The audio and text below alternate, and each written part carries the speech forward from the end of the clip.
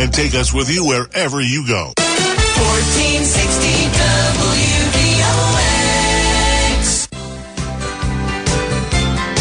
WVOX. Stay tuned now for Westchester Eye on the Radio with Peter Moses, John Sharan, and Ardina Seward on 1460 WVOX.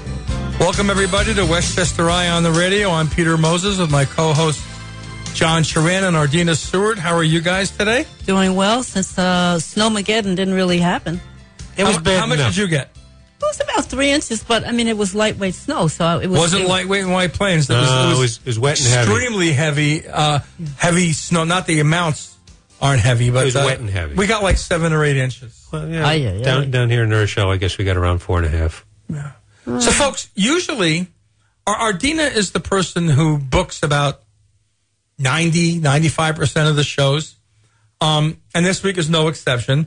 And usually she sends John and I a brief bio of the person who's appearing on the air with us the next day. She usually sends it on Sunday. Usually, Um, this week we got a notification from her read the notification, please. that she would not, she refused to give us any knowledge and any background on the person who's a matter of fact. This is what she wrote. I'm mm-hmm. agreeing with John. We should read it. We will have a female guest tomorrow for the show.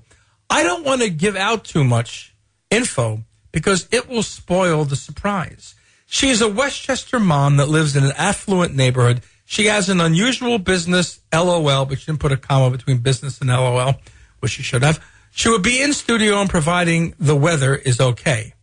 And then the rest of it is about our next week's show that uh, she asked Jerry Azar, who used to work at uh, Channel 7 with Ardina, uh, to sub for next week while John is in Phoenix playing with cars. um, anyway, so the woman sitting across from me, um, her name is, her last name is Christian. Her first name is Brooke with an E. And um, what is your unusual profession, Brooke Christian? Uh, I run a sex empowerment platform geared to moms. It's called Flirty Girl, and I talk about the collision between sex and motherhood. And Is it a collision? Oh, it's a big collision. A big one. It's like an 18 car pileup on 95. It's a big deal. Not 684. Pick a highway, any highway. And um, how did you end up creating this business? Um, well, it's a very personal story. I I hope so. Yeah. Well, it's actually not salacious at all. I didn't say salacious. Um, I have two children. They're young. I have a nine year old and a five year old. And when I had the five year old, I got slayed with horrific postpartum depression, suicidal. It was horrible. And as I was healing from that, um, I started sort of to reconnect with myself. I got my body back. I sort of started exploring um, being a woman and not just being a mother um, because we lose ourselves a bit when we have children. So, in that exploration, sex was a part of it. And I was trying to reconnect with that part of my life. And my husband, God bless him, brought home a sex toy and we used it. And sex before this toy was like analog television with like the wires coming out of the top, you know, and like the fuzz and the noise. And sex after the toy was like 4D IMAX. I couldn't believe it. I was like, is this what I've been That's missing? rather transformational. It's launched a massive business. I'm so happy John feels he can talk. Yeah. Why not? Everyone has sex. We all came from sex. Everyone has sex. So I started telling my girlfriends about it, like a Gymboree class. And I was saying to them, Do you know about this? You know, do you know about this toy or, you know, nice toys in general? And they all said no. And I said, You got to get it. And women trust women. You You're the only one I've ever met who thought the Barney doll was uh, was a sex toy, but that's another story. I don't do purple sex toys. Ah, I know. like my sex toys to be in a black or white frame of mind. Ebony or ivory. Ebony or ivory, exactly. Class it up. So women trust women. If uh, my girlfriend tells me to try a lipstick, I do. If we say this hair dryer is amazing, we do it. So I said, try this toy. And they all went and bought it. And they all came back and said, whoa. Oh my God, my husband and I are having more sex. Sex is better. I'm craving sex more. And I realized that there was an underserved market here. I used to work at magazines and I said, nobody's talking to these women. We gotta. Somebody's gotta. So you created a website. So I launched a business. Yes. So I created a website, but in these days, social media is kind of everything. Your We're going to have to cut you second. right there because we're going to go to our first commercial break. Um, we have with us today the what is the name of your company again? Flirty girl. Flirty Girl. We have Brooke Christian. We're going to be talking about sex today and intimacy. Uh, they're not always they're not always the same. This is Westchester Eye on the radio on WVOX and WVOX.com. We're going to be going for a long Fox News and business news break, and we'll be back after that. And I think the subject matter is such that you all should listen and call your neighbors and, and friends and wives and husbands. Tell them to listen too. Let's return now to Westchester Eye on the Radio with Peter Moses, John Sharan, and Ardina Seward on 1460 WVOX. Welcome back to the next segment, the second segment of uh, Westchester. A little Eye on the tongue tied there, John. No, I was just thinking something else, and I wasn't sure which segment we were in. Came out. But the point is that this is the second segment, and uh, we're approaching our halfway mark here on the Westchester Eye on the Radio. I'm John Sharan, along with Ardina Seward and Peter Moses, and today we have a special in-studio guest, Brooke Christian, who is the founder and uh, creator of Flirty Girl. And you were just about to tell us, uh, when we were interrupted by the last break, about how you created the uh, website and the uh, company. Yeah, so obviously every business needs a website. It's the platform and sort of the resume of of your brand. Uh, but the majority of it is social media based because that's where we live now and that's where moms live now. Um, and if you're a blogger, quote unquote, what you really mean is you write long posts on Instagram. So, um, yes, I have a website and it's beautiful and it's great and it explains everything. And um, I do post content on there. I love writing about my life and the struggles of it um, when it comes to sex and body image and motherhood. Um, but my Instagram is where m- most of my content and message lives. It's at Flirty Girl Guide on Instagram. And um, it boomed in a second. I mean, I also sell sex toys because the way my business is structured is there's the message, which we haven't talked about yet, but the message is we can be sexy and be mothers. They don't have to be mutually exclusive, but it is tough to do because we're so burdened and busy and sort of lost in the um, minutia of our lives.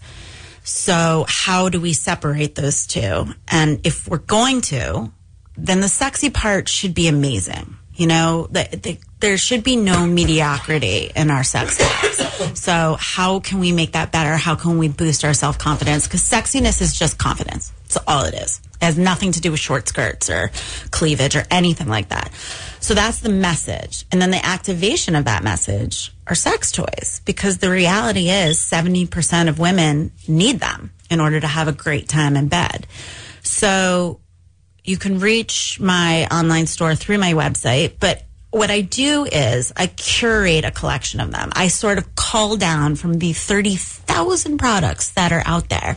Like, here are the 20 best.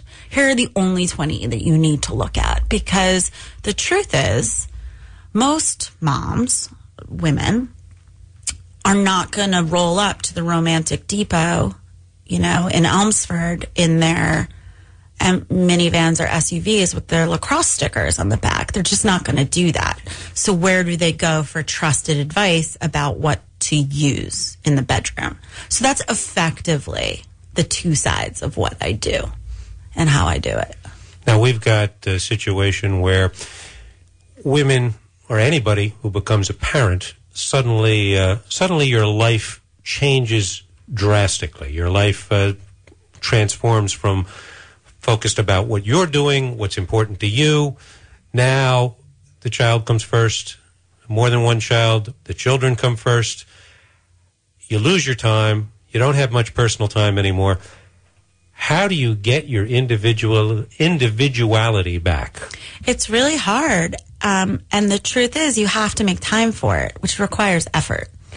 And if that means you have to schedule your date nights, if you have to set, schedule self care, if you feel sexiest when you have your hair done, um, if you feel sexiest when you're wearing, you know, beautiful makeup, then you have to set time down in order to do it. And I hate saying that because we already have enough on our plate. I hate adding to it, but there's no other way around it. If you're married or in a relationship, you have to date each other again. You absolutely have to. You have to flirt. You have to make time for each other where you're not calling each other mom and dad. You know, because that's not sexy. You have to call each other by your real names. And when you're in, you know, the revolving door of parenthood, you wind up saying like, daddy, are you doing bedtime tonight? Oh, mommy, can you go get them water? Like, I don't want to date that person. I want to date John or Mike or what have you. So you have to commit to making those special moments and that special time. And honestly, technology nowadays makes it really easy. It is so easy to pick up your cell phone and send, you know, a little flirty text to your partner. That takes 10 seconds to do. But it has such huge payoff. You know, uh, anticipation is the number one aphrodisiac and you can't buy it. You know, beats oysters by a mile. And so just creating that energy between the two of you doesn't have to be dirty. It can be sweet. That builds intimacy. That builds connection. Um, and truthfully, if you can be connected both with yourself and your partner sexually, the tide lifts all boats. Like you're going to be a happier mom. You're going to be a better partner. You're going to be a better friend. I tell women all the time, I'm like, Friday night, don't have sex with your partner. You tell me what Saturday morning looks like in your house. I guarantee you and your partner are like nitpicking each other and like, why didn't you do that? And why didn't you do this? And, you know, soccer practice is a nightmare. Have sex on Saturday night and tell me what Sunday morning looks like. Chances are you might pinch each other's, you know, tushes in the kitchen. You're going to be like much more accepting if there's pancake batter on the floor. It's just a nicer environment for everybody, but it takes effort and I wish it didn't, but And it ha- does. And, and, and as people become parents longer and longer and haven't been involved in this sort of thing, I'm sure a lot of them lose confidence. What do they do to gain confidence back to be able to do this sort of work? That is the hardest part. Um, for women, especially, we are our worst critics.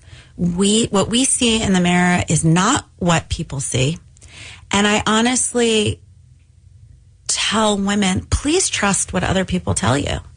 When you come out, you know, downstairs and your husband says that you look beautiful, trust him. When you show up in lingerie in the bedroom and he thinks you just look drop dead gorgeous, believe him. And and that's a start. And the second part is women are sexiest, we all are, when we're doing what we love. Right? The and that's what I was saying before, the sexiest woman in the room is the one who knows herself and is enveloped in it. And that's where we need to start. For sure. Doing what we love. And since the music started, we're going to take, have to take another break. You're listening to Westchester Eye on the radio here on WVOX 1460 AM and heard worldwide at WVOX.com. I'm John Sharan along with Ardina Seward and Peter Moses and our special in-studio guest, Christian of Flirty Girl, the founder of the company, who's teaching women about how to find their sexual self again after motherhood. And we'll have more conversation about that and other things. Remember, you can phone in to our program if you have any questions for our guest. Our phone in number is 914 636 0110. Again, this is Westchester Eye on the Radio, and we'll be back after a brief Fox News break. With world and national news, here is the latest update from Fox News Radio on 1460 WVOX. Fox News, I'm Rich Dennison. President Trump says he'll cooperate with the House Judiciary Committee's sweeping investigation into his administration. The committee requesting information from more than 80 individuals and entities. The Democrat led House investigation is very broad, touching on allegations of public corruption, abuse of power, and obstruction of justice. Fox's Catherine Herridge in Washington. The president tweeting that he's told FEMA to give Alabama the A plus treatment as the state responds to a deadly tornado that's killed at least 23 people. A battle to oust the remnants of ISIS is taking place in eastern Syria. Fox's Trey Yingst. The final major battle against ISIS is underway in the Syrian city of Baghouz. Democratic forces there say that this group should be defeated within days. U.S. backed Syrian forces say they had to slow their advance because ISIS militants were using civilians as human shields. This. Stay airborne with us each and every day at 1460 on your AM dial or streaming live right now at WVOX.com. Better yet, download the WVOX app and take us with you wherever you go. 1460 WVOX. Let's return now to Westchester Eye on the Radio with Peter Moses, John Sharan, and Ardina Seward on 1460 WVOX. Welcome back. Thanks for sticking with us. We are into our next half hour, next exciting half hour. And why? Because you're listening to Westchester Eye on the Radio. I am Ardina Seward, along with Peter Moses, John Sharan, and our I want to say I want I don't want to even say special guest. I want to say unique guest named Brooke Christian. And Brooke is, I would say, uh, the Brooke is the new Dr. Ruth, a younger, blonder version of Dr. Ruth. But beyond that, she also merchandises lingerie, uh, helps women with self-esteem, And, and sex toys as well. and and sex toys. But she also um, She's a marriage counselor. and she well she, she, she's That beyond scares that. me. without- that scares me. I know, but, Without, without but the in a high sense, pitched that's German what you are. cackle. Without the high pitched German cackle. Ex- I, exactly. I do save marriages for the short term, for sure. Right. But this, sure. is, but th- this, no, no, I want to get to the, to the, um, the to the perception of conservative Westchester, because what you do, I think that people, uh, this is my my bias, I guess, tend to associate it more with the progressive millennials of New York City, and we're talking about affluent moms in affluent Westchester, and it kind of it, it's kind of shocking that they need this kind of support system. Am I wrong, or am I just being naive? No, no, no. They need it more than anybody. Um, and here, here's here's a funny story that sort of is an example of that. I have young children, like I said. My nine year old plays field hockey and she loves it, which means every weekend I'm on a field in my little folding chair with my like cup of coffee at eight in the morning. I don't show up to these things looking glam. I'm in sweatpants and my hat, um, which is also part of what I say. Like, I'm not saying you have to look gorgeous seven days a week. I kind of say like 20% of the time, can you pull yourself together? You know, like for a couple of hours once a week, can you pull it together? Cause I look homeless at pickup also. And so in my moments of looking horrible on a Saturday morning, I'm sitting there in my folding chair and no one will sit with me. None of the mothers will sit with me at field hockey. And you can hear them whisper when I sort of like cross from the parking lot over. Well, and uh, because of why? because of what I do. I mean, it's very known what I do, especially in my my very small community. I mean, That I get is- recognized. That is but, stunning. I, I and and here's the thing, I don't care because you can't do what I do unless you have thick skin, right? And I just find it kind of sad, to be honest with you. I mean, those are the women who need me the most. Yeah, you know, say so. absolutely. They're the most repressed. They're the they're the ones who are faking it outside and inside the bedroom. you know, they're the ones posting everything on social media, like everything's perfect when I know that they're going through a separation, you know, and because they haven't had sex in a year. Or they have a or they have a boyfriend on the side. I mean, many, many women have boyfriends on the side. Um, women statistically have more affairs than men. We're just better at hiding it because we're smarter. but, you know, that's been I would my say craftier, but okay. yeah. but that's been my experience. Um, you're either really into me and like really into my message and I'll get stopped and people will say, Oh my God, I follow you. Oh my God, it's so amazing. What do I need? Da, da, da, da. And that's great. Or it's kind of the total opposite side of I'm not going to sit with you because I don't want to be associated with you. And that's challenging. I have kids at elementary school. I don't, I do worry about them being made fun of or embarrassed by me or, you know, what have you. I figure they're young now and I'll cross that bridge when they get to it. Um, and I'm sure my son will be absolutely horrified that his mother talks about this. But it's frustrating because I'm not a porn star. I'm not doing anything, um, you know, ridiculous. Scandalous, It's exactly. scandalous. Right. Exactly. I, I'm doing something very, ta- I do it very tastefully. It's ta intentionally tasteful because I don't think sex has to be gross and perceived as, you know, hot pink leopard. You know, I don't think that that's how it has to be. I think it can be just as beautiful as we are. Do you agree, by the way, that there's a difference between in- intimate intimacy and sexuality? Yeah, for sure. I think intimacy leads to the best sexual experiences. I agree with that. I think that if you can connect emotionally, you are going to connect physically. Um, and that's something that we are missing. Well, number one in society, but certainly in, you know, parenting situations, it's hard to sit down and have a real conversation where you feel understood. Um, and for women, you know, we are emotionally connected to our sexuality. Men are more visually connected. You know, that's just biology. Their arousal is tied to visual stimulation, which is why lingerie works. a variation By on the way. A variation on that idea that men give love to get sex, women give sex, to get, love. It is so true. And the reality is that I've actually never heard that before. Yeah, that's an old Really? adage. does it feel true? Yeah. Yeah. What about? I, I, I want to talk about, a little bit about why someone like Robert Kraft, who had seventy-seven, would go to massage parlors. A widower. a widower, a widower, exactly. But but here's a guy who ha- has enough money to, um, and he had a, has has or had a girlfriend, and he was involved in this rather I don't want to say conservative circle, but respectable circle of of of, of people. So I don't understand it either. I would just like to preface this that I am a raging Pats fan. Go past the entire way. Our condolences. Nobody talks to me on Sundays. You're just jealous. It's okay. Yes, but, Um, but they're, they're not talking to you. If, if they're in this area, they're not talking to you not because of what you do or or or your feelings on Robert Kraft. It's because true New Yorkers will not really support the Patriots. Absolutely. So- So, so- but I can't. I mean, so this conversation has come up about Robert Kraft a lot because not only am I a Pats fan, but it's like amazing.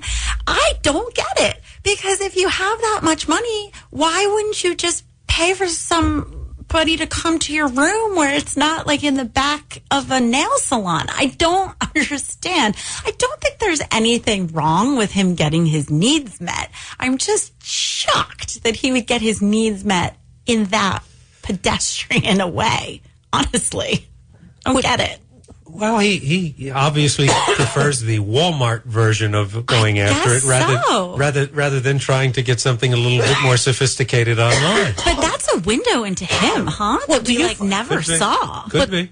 Uh, okay, this is a, a, a two-part question. One, do you feel that prostitution should be legalized? And two, do a lot of the husbands in this affluent Westchester uh, uh, circle that that you work in, do many of them go to prostitutes? Uh, okay, so the way I operate my business is that I'm a vault, I'm a priest, a lawyer, a doctor. So I'm not going to give away any specifics, but yes, they do that. Yes, they do that. I mean, absolutely. I would not say it's for sex. My experience has been strippers and what Robert Kraft did, you know, a massage parlor. But yes, absolutely. The first part of your question was Do I think prostitution should be legal? Absolutely. I think that women should be in charge of their own bodies and should be able to use them for whatever purposes that they want. And if that means having sex for money, go for it. Um, my experience with the men who participate in those activities are the ones who are not getting served at home. I mean, that's a very big generalization, but uh, they are lonely. That's a lonely position to be in. And that's part of the problem. That's the lack of intimacy. That's the lack of sex that people are having. I mean, so many people are in sexless marriages. Oh, oh, oh, when we, uh, I want to talk about. Uh, we're coming up on our on our on our break soon. I want to talk about why most marriages that you know of break up, and is sex a fact or lack thereof a factor in those marriages breaking up? Uh, and I also want to extend the invitation to the audience in case you have a call or in case you have a question or a comment. You should call in at 914 636. That includes soccer moms from Waccabuc. That's right, 914 636 0110. Keep it clean and stay with us. You are listening to Brooke Christian, who is talking about S E X. I said it. I didn't say it. I spelled it. S E X, doggone it. Uh, and you are listening to Westchester Eye on the radio, WVOX.com. So stay with And us. WVOX. And W. WVOX. 1460 AM. Let's return now to AM. Westchester Eye on the Radio with Peter Moses, John Sharan, and Ardina Seward on 1460 WVOX. Welcome back to the final quarter hour of Westchester Eye on the radio. I'm going to not mention all of our names because if you've been listening to the show, you know who we all are. We have with us today Brooke Christian, I, uh, who who owns a business called Flirty Girl. Flirty Girl, and it's on. You can. It's www.flirtygirl.com. No, it's No, not. it's It's not. not. I'm sorry. Tell, tell us what. what what's, It's it's Flirty Girl Guide, like a guidebook.com. And on Instagram, it's at Flirty Girl Guide. Because whoever owns flirtygirl.com um, is offering to sell you that domain. I That's just I, right. I looked that up a little Ah, while that's ago. right. Um, I am wondering when you encounter the husbands, what do they say to you about about all about your business? They must think that you're the greatest thing since sliced bread, and I would imagine most of them come on to you. Okay, so that's entirely right. They basically give me their credit cards and say, my wife can spend as much money as she possibly wants. Probably the only business where that um, there is no budget. And yes, they, they almost every single one of them says, talk to my wife. Does my wife follow you? Does my wife know you?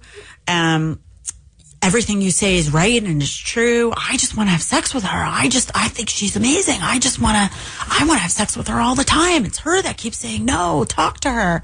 Um, But how many of those guys also hit on you? almost every single one. Okay, that's the other part.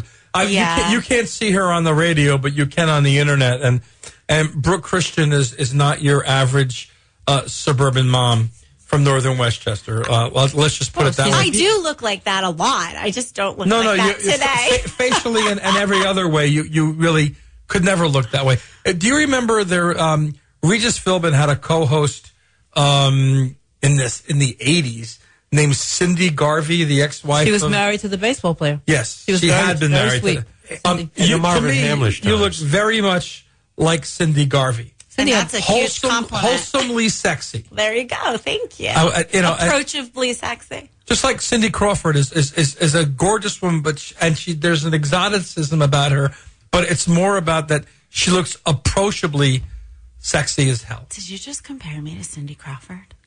Uh, personality wise, yes, yes, yes. Um, I, yes, think she's, I I, think she's a little taller than you. Yeah, a little bit, a little bit more. And she went to. Northwestern, which people don't often She's super know. smart. She's a really super bright woman. smart. I get hit What on is a the weirdest thing that a woman has said to you? Uh, let's say we, you talked about having sexless marriages, and Mm-hmm. there are quite a few of them out there.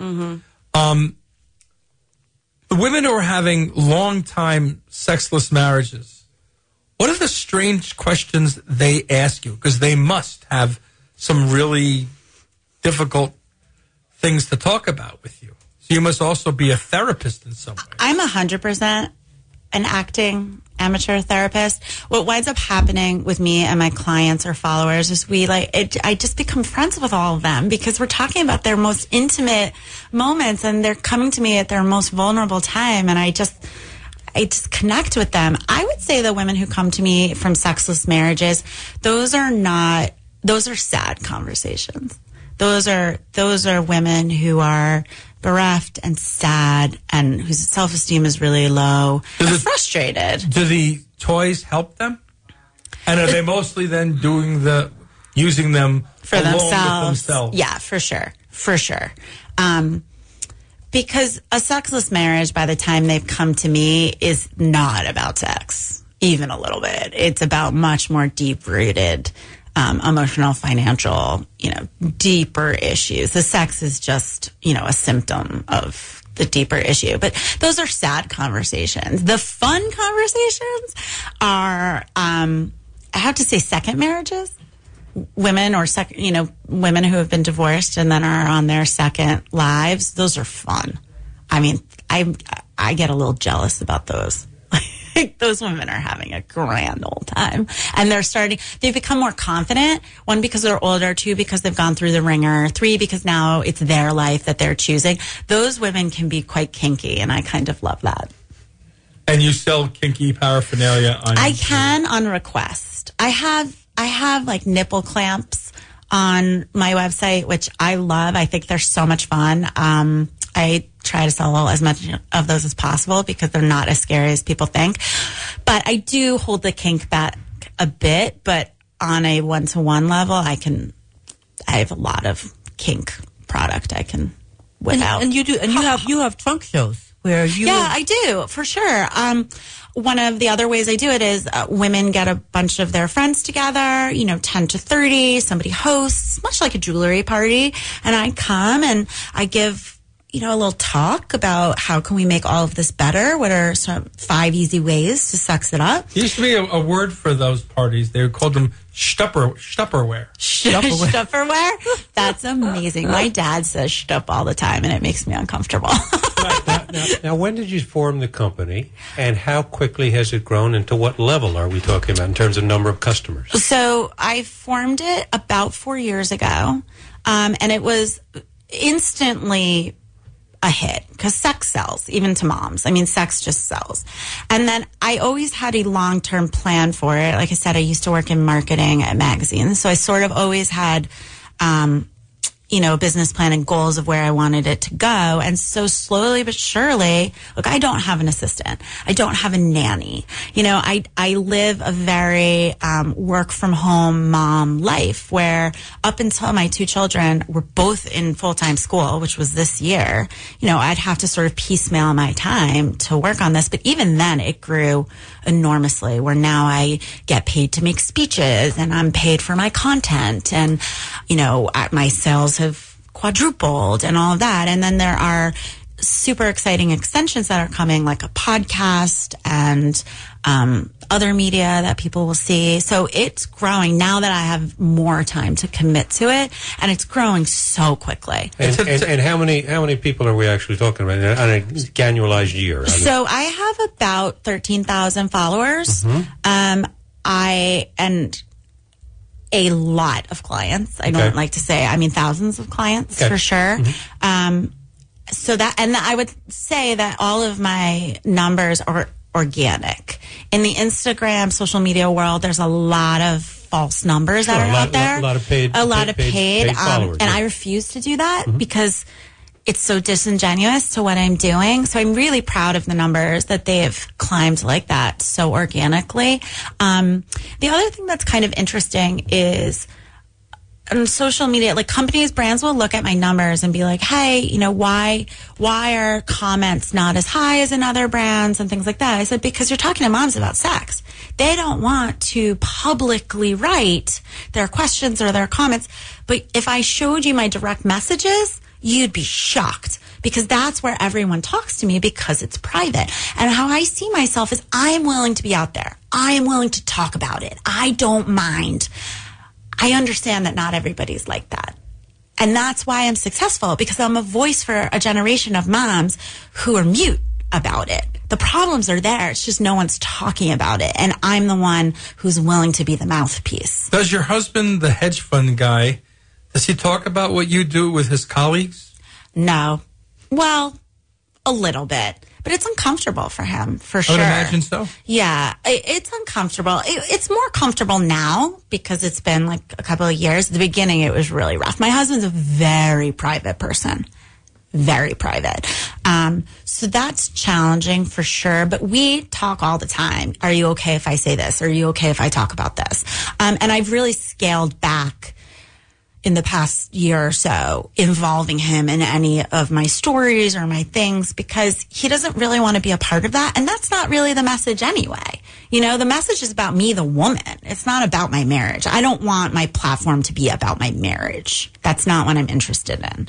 And that's a little self serving and it feels a little egotistical. So, Well, we want to thank you for being on our air. And again, if someone wants to go to your website, it is Flirty Flirty Girl Girl Guide, Guide like a guidebook. yes dot com. That's right. And is there a phone number, people, or an email address for you? Absolutely. Brooke with an E at flirtygirlguide.com, all one word. And you can find me on Instagram at, at flirtygirlguide.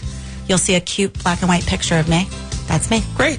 Ardina, who do we have on for next week? Next week, we're going to do a show about a controversial topic where do you move your mistress into the house if your if your wife has Alzheimer's? Oh, you got you got those three people? Well, we're lining it up, and Jerry Azar is going to be Jerry Jerry Azar is going to take. Well, he can't, he will never So take. two weeks in a row he will never sex. he will never Well, take okay, Don's stop spot. now. This is Westchester Eye on, the radio uh, on WVOX at WVOX.com. Everybody.